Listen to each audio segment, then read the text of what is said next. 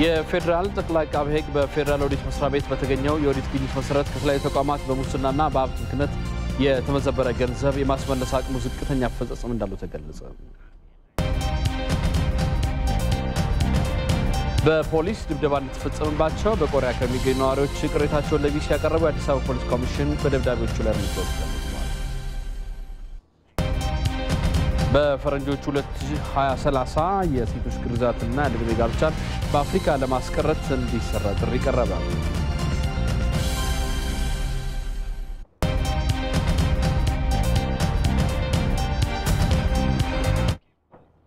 ይስጥልኝ በድጋሜ እንደምንላቸዋል። ሰባት ሰዓት ሆኗል። የኢትዮጵያ ቴሌቪዥን አራት ማዕዘን እንደቀጠለ ነው። ከዜናዎቹ ጋር አንተነህ ደግፌ ነኝ። የፌዴራል ጠቅላይ አቃቤ ሕግ በፌዴራል ኦዲት መስሪያ ቤት በተገኘው የኦዲት ግኝት መሰረት ከተለያዩ ተቋማት በሙስናና በሀብት ብክነት የተመዘበረ ገንዘብ የማስመለስ አቅሙ ዝቅተኛ አፈጻጸም እንዳለው ተገለጸ። የፌዴራል ጠቅላይ አቃቤ ሕግ የ11 ወራት የስራ አፈጻጸም ለሕግና ፍትህ ጉዳዮች ቋሚ ኮሚቴ ያቀርበዋል።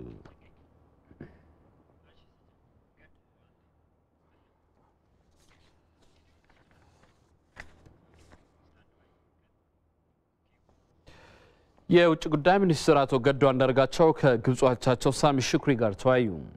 የውጭ ጉዳይ ሚኒስቴር ቃል አቀባይ ጽሕፈት ቤት እንደገለጸው ሚኒስትሮቹ በህዳሴ ግድብ ዙሪያ ከዚህ ቀደም የተጀመሩ የኢትዮጵያ የሱዳንና የግብፅ የጋራ ሶስትዮሽ ስብሰባዎችን በማካሄድ የጋራ መግባባትና መተማመን ይበልጥ መገንባትና ማጠናከር እንደሚገባ መግባባት ላይ ደርሰዋል። በተጨማሪም ኢትዮጵያና ግብፅ ያላቸውን የሁለትዮሽ ግንኙነት ይበልጥ ማጠናከር በሚችልበት መንገድ ዙሪያ መክረዋል። ውይይቱ በተለይም የኢትዮጵያ የሱዳንና የግብፅ የውጭ ጉዳይ ሚኒስትሮች፣ የውሃ ጉዳዮች ሚኒስትሮችና የደህንነት ኃላፊዎች ባደረጉት የጋራ ስብሰባ የሰጡትን አቅጣጫና መመሪያን ለመተግበር የሚያስችሉ ተከታታይ የሶስትዮሽ ስብሰባዎችን ማካሄዳቸው የሚታወስ ነው። የውጭ ጉዳይ ሚኒስትሩ አቶ ገዱ አንዳርጋቸው ከግብፁ አቻቸው ጋር የአፍሪካ ህብረትን በሱዳን ጉዳይ ላይ በጠራው ምክክር ስብሰባ ወቅት ነው የጎንዮሽ ውይይት ያካሄዱት።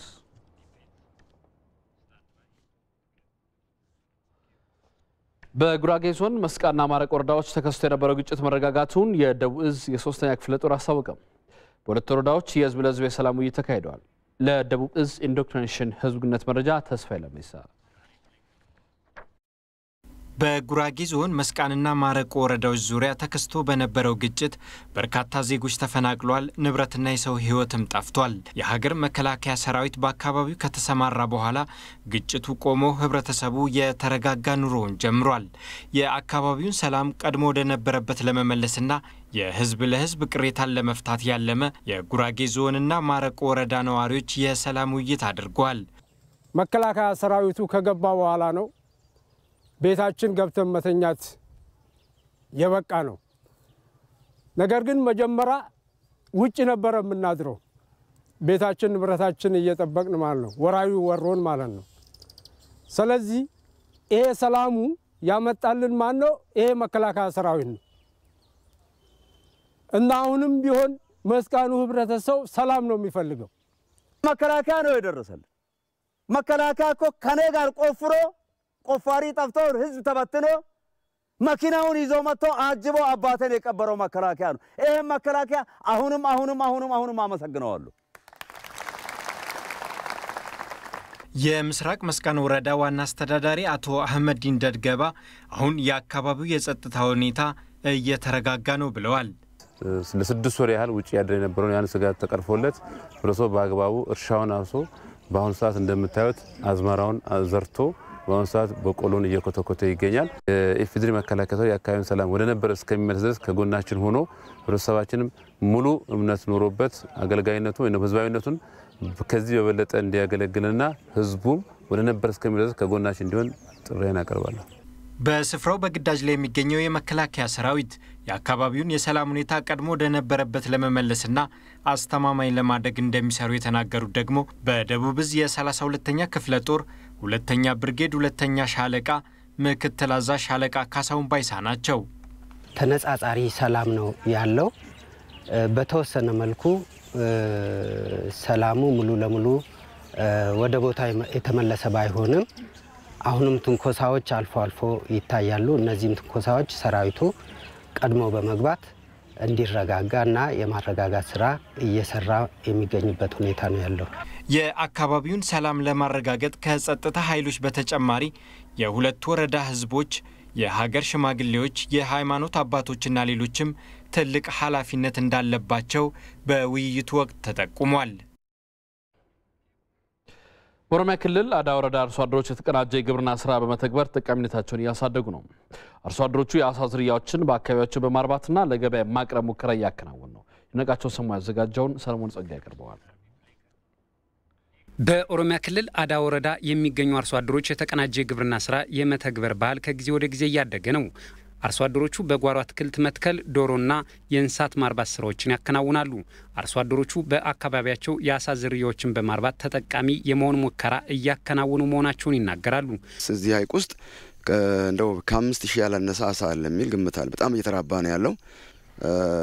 ቆሮሶ እና አምባዛ ካርፕ ሶስት አይነት የአሳ ዝርያ ነው ያለው እዚህ አሳ አንድ አሳ እንግዲህ እስካሁን ጥሬ አሳ ሀያ አምስት ብር ነው የሚሸጠው ከአምስት መቶ አሳ በላይ አውጥቻለሁ። የተቀናጀ ስራ ነው።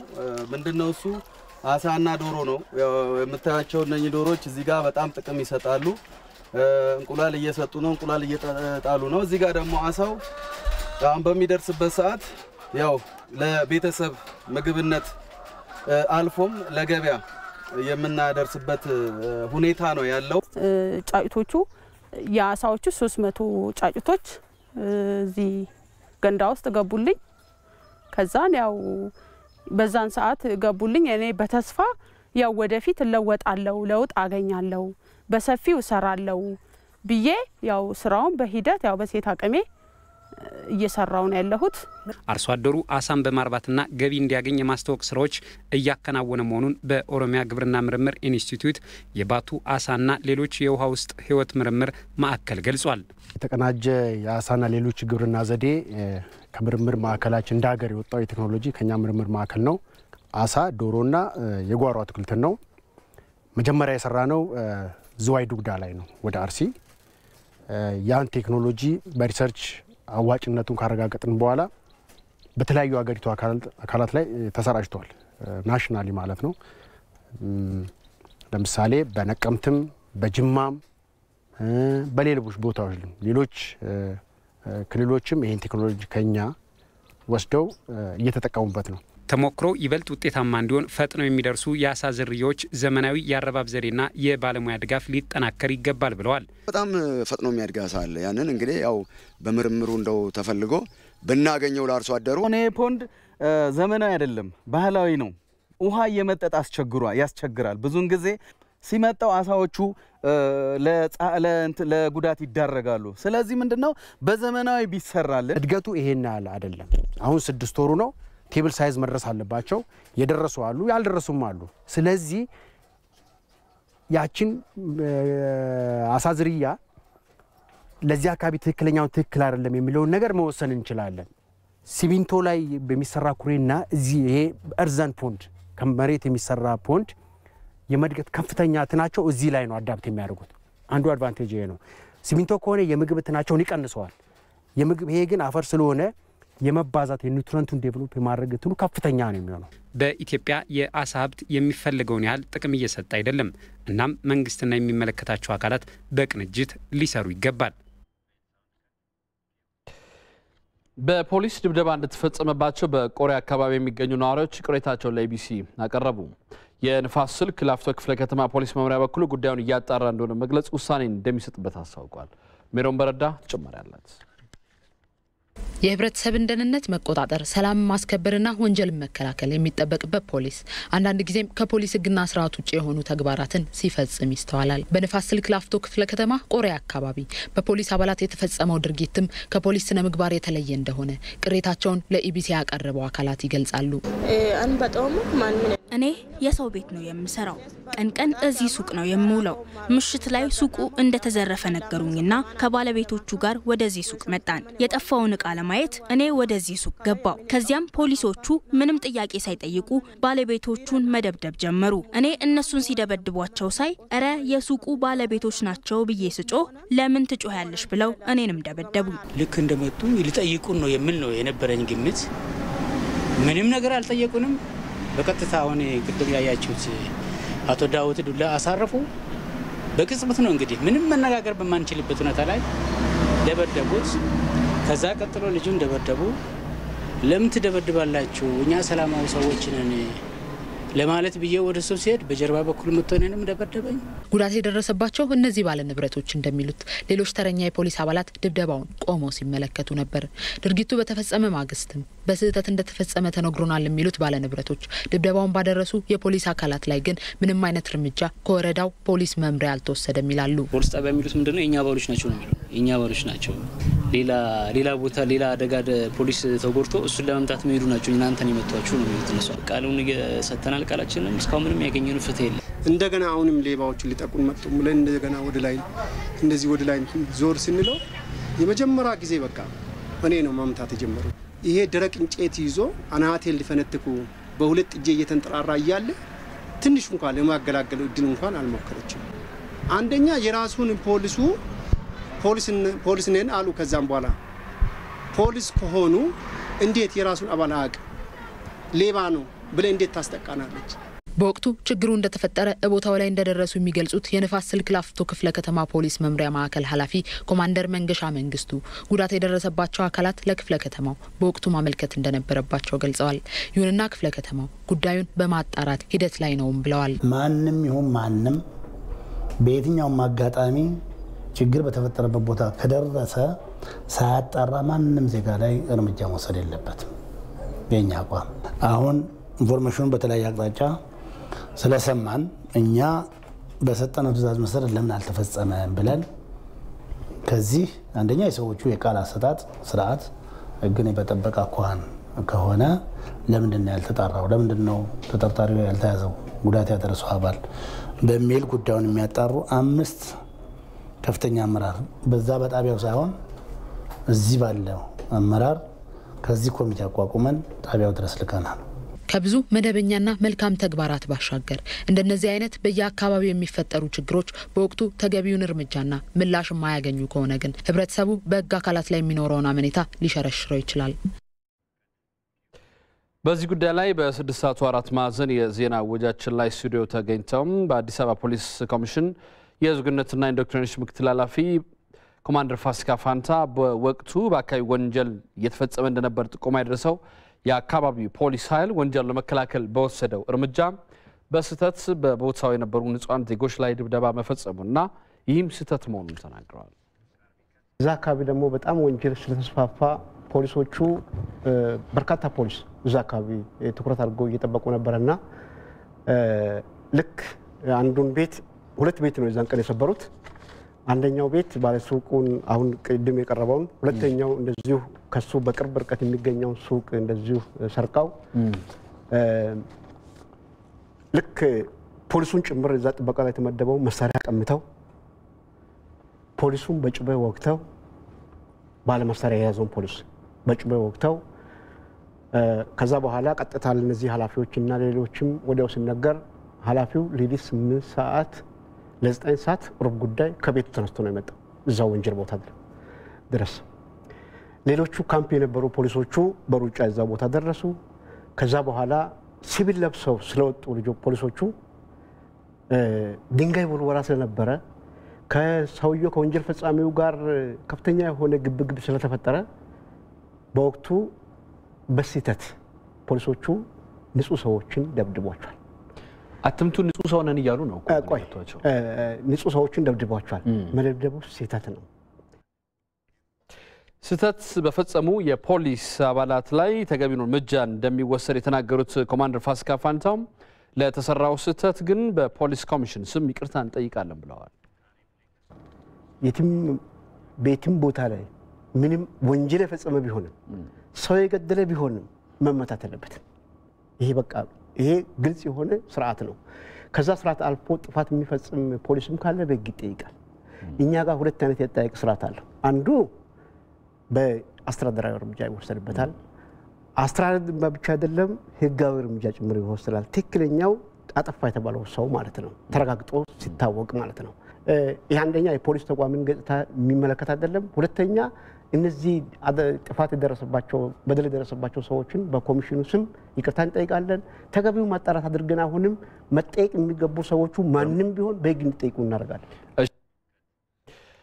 የምርጥ ዘርና የማዳበሪያ ግብዓት በወቅቱ ለማግኘት መቸገራቸውን የምዕራብ ጎጃም ዞን አርሶ አደሮች አስታወቁም። አርሶ አደሮቹ ማዳበሪያና ምርጥ ዘር ለመፈለግ የሚያባክኑት ጊዜም የግብርና ስራቸውን በወቅቱ እንዳይከነውኑ እያደረጋቸው መሆኑን ተናግረዋል። ተመስገን ንብረት ተጨማሪ አለው።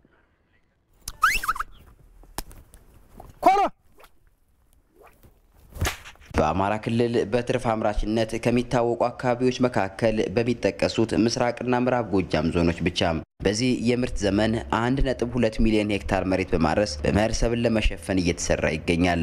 አርሶ አደሮቹም ማሳ የማለስለስና ለዘር ምቹ የማድረግ ስራን እየሰሩ ናቸው።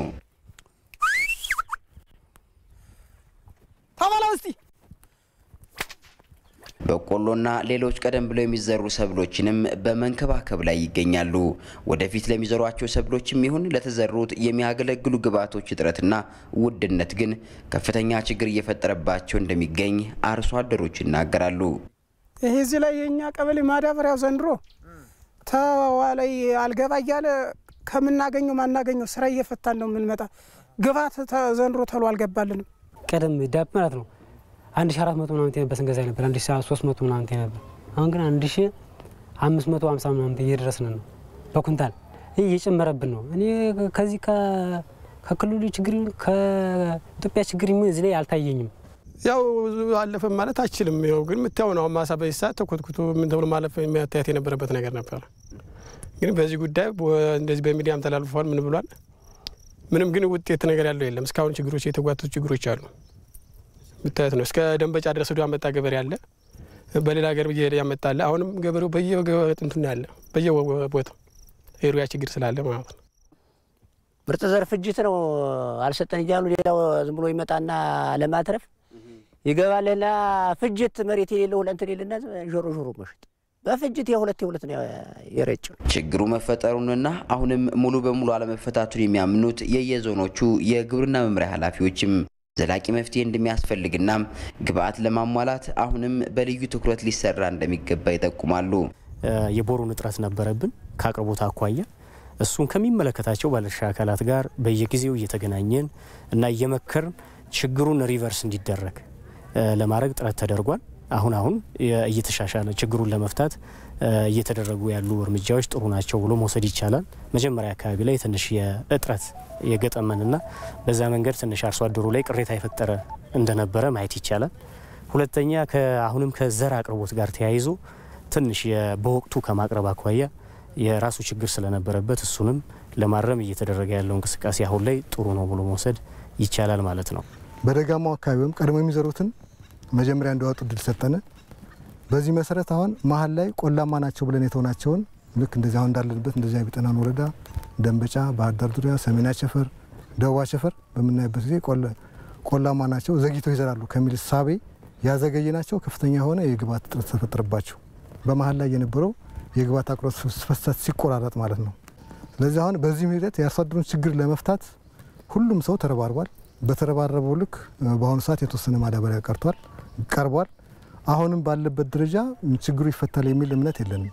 በምናይበት ጊዜ አሁንም የ NPS boron ማዳበሪያዎች አሁንም በተለይ በመርከብ ዩኒየን በኩል ያሉት መጋዘኖቻችን የላቸውም።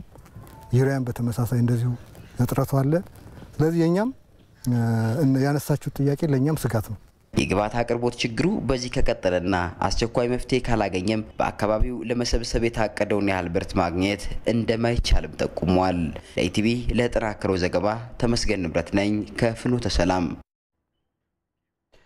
የበልግ ዝናብ ዘግይቶ መጀመሩ በመኸር ስራቸው ላይ ተጽዕኖ እንዳያሳድር አስፈላጊውን ዝግጅት ማድረግ ላይ መሆናቸውን የሲዳማ ዞን አርሶ አደሮች ገለጹ።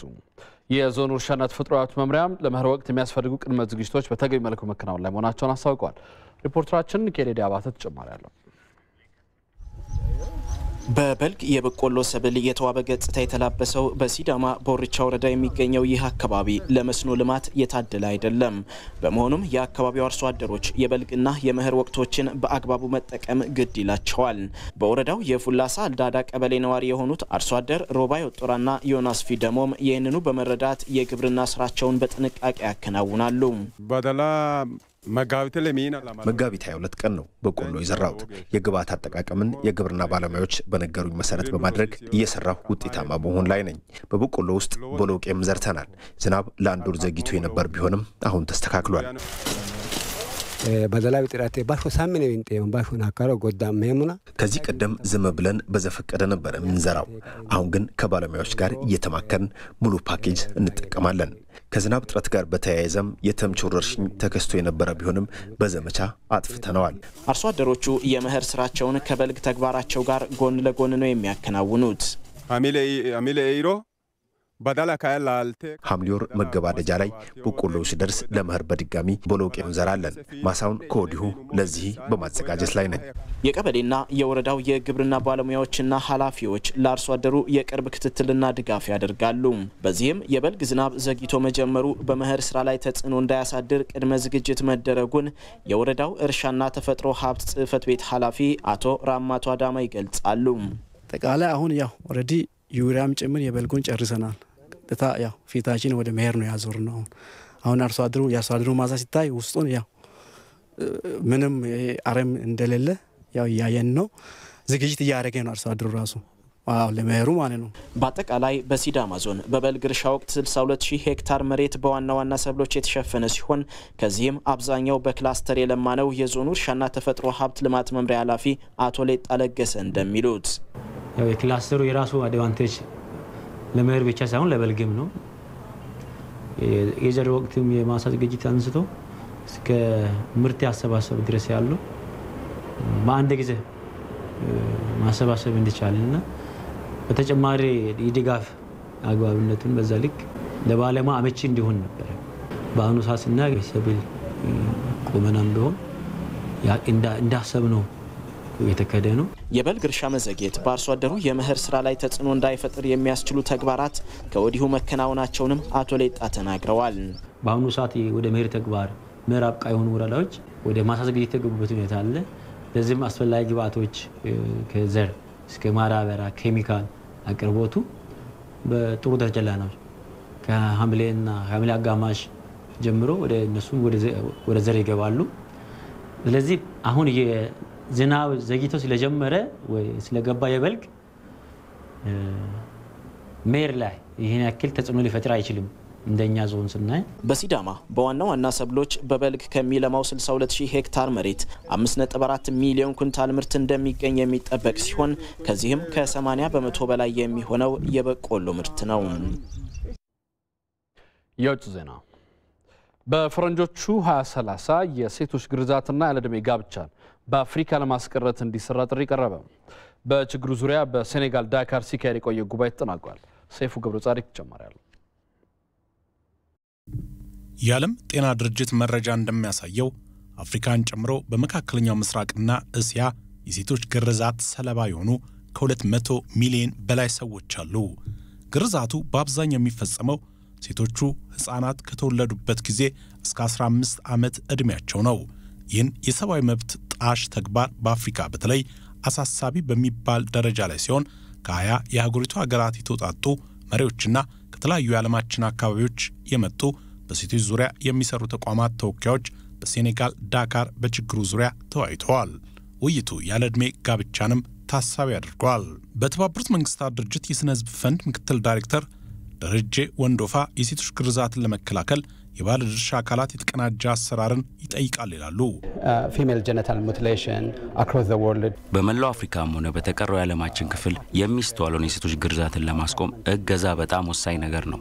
መንግስትም ፖሊሲዎችን በመቅረጽና መርሃ ግብሮችን በመንደፍ እንዲሁም መርሃ ግብሮችን በማውጣት ሀገራዊ ሀብቶችን ስራ ላይ በማዋል ጭምር መስራት ይኖርባቸዋል። ኋላቀር በሆነ የባህል ግፊት በሴቶች ላይ እየተፈጸመ ያለው ግርዛት አስከፊ የሆነ ጉዳት እንጂ አንዳችም ጥቅም ለሴቶች እንደሌለው የችግሩ ሰለባዎች ላይ የመጣውን መዘዝ በተጨባጭ በማስረዳት የግንዛቤ ማስጨበጥ ስራ ተጠናክሮ እንዲቀጥልም በጉባኤው ላይ ጥሪ ቀርበዋል። በሴቶች ላይ የሚፈጸመው ግርዛት በወሊድ ጊዜ ከፍተኛ ችግር የሚፈጥር ሲሆን የሚወለዱት ሕፃናትንም ለሞት የመዳረግ ዕድሉ ሰፊ መሆኑ ነው የጤና ባለሙያዎች የሚገልጹት። ጀሃ ዴኩር የ Safe Hands for Girls Foundation ዳይሬክተር ሲሆኑ ግርዛቱንም ሆነ ያለዕድሜ ጋብቻውን አፍሪካውያን ራሳችንን ማስቆም ያለብን ይላሉ። እንደ ችግሩ ተጠቂ የማስበው የሴቶችን ግርዛትም ሆነ ያለ ዕድሜ ጋብቻን የምዕራባውያን ጥረት እንደማያስቀረው ነው። እኛም አፍሪካውያን ራሳችን ይህን ችግር ማስቆም አለብን። ችግሩን መከላከል ካልተቻለም እስከ ፈረንጆቹ 2030 ሌሎች 50 ሚሊዮን ሴቶች የግርዛቱ ሰለባ ሊሆኑ ይችላል ተብሎ ይጠበቃል። ግርዛቱ በከፍተኛ ሁኔታ የቀነሰባቸው ያሉ ሀገራት ቢኖሩም በሶማሊያ፣ ጊኒ፣ ጅቡቲና ማሊ ግን የመከላከል ስራው በጥሩ ሁኔታ እየሄደ አለመሆኑን ነው መረጃዎች የሚያሳዩት። ኦልባክ ዜና በኦታሪ ባኮ የኒጀር የሴቶችና ህጻናት ሚኒስትር ሲሆኑ ሀገራቸው ያለ ዕድሜ ጋብቻ ከሚፈጸምባቸው ሀገራት ቀዳሚዋ መሆኗን ነው የተናገሩት። 76.3 በመቶ መሆኑን ነው የግርዛት መጠኑ መረጃ የሚያሳየው። ከአፍሪካ የሴቶች ግርዛት ቀዳማዊት ሀገር ኒጀር ናት። ይህን አስጊ ሁኔታ ለመከላከል ታዲያ የድርጊት መርሃ ግብር ነድፈን መንቀሳቀስ ይኖርብናል። በዳካሩ ጉባኤ ላይ የታደሙት ከአፍሪካና ከሌላው የዓለም ክፍል የተውጣጡት መሪዎችና ባለድርሻ አካላት በፈረንጆቹ 2030 ግርዛቱና ያለ ዕድሜ ጋብቻውን ለማስቀረት እንደሚሰሩ ማስታወቃቸውን ሲጂቲኤን ዘግበዋል።